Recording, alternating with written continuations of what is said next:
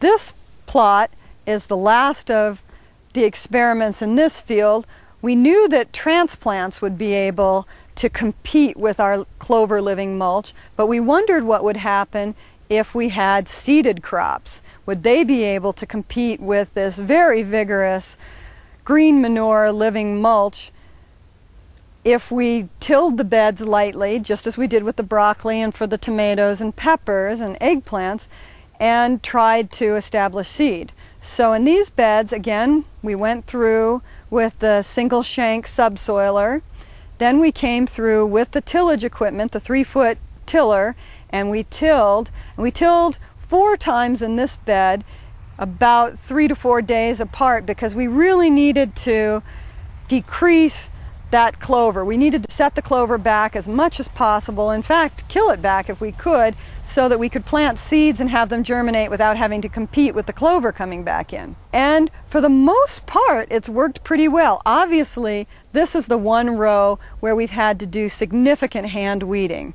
In the other rows, we have done virtually no hand weeding, which is pretty unusual. There are very few organic vegetable farms where there isn't an awful lot of hand weeding and hoeing done. So this row we've done hand weeding, but again, we haven't done as much as would be normal in, in this system because, in a vegetable production system, because we really haven't had the weeds.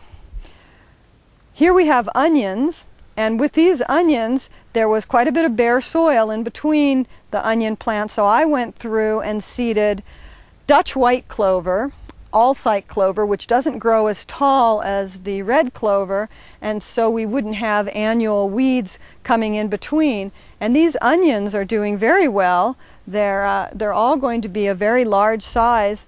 So we've realized that as long as we can give the seeded crops several weeks of bare soil so that they can germinate and get up to a certain height that the competition of the clover that moved back in doesn't seem to to compete with them too much as long as there are two important considerations met. Number one, they get all the water that they need. They don't want to compete for water. And number two, that the soil fertility is high and they get the nutrients that they need. So again, the onions are growing and very large. The one thing that we did find early in the season some of the crops, particularly the large seeded crops like green bean, were a little yellow as they germinated and they got to be three to four inches tall. They were slow to grow and they had a little yellowing to their older leaves.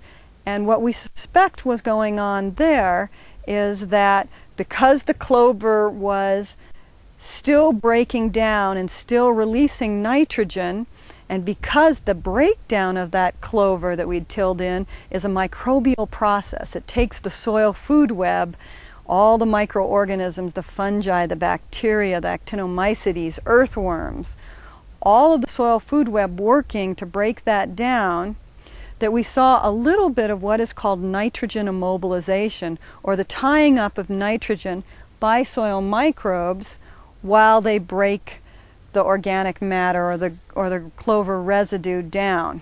So while the major decomposition process was occurring, there was not enough nitrogen left over to cycle out to the crop. So we saw a little bit of nitrogen deficiency in the crop until the breakdown process was complete. And now the beans are growing very well and we're harvesting them at a record yield for us.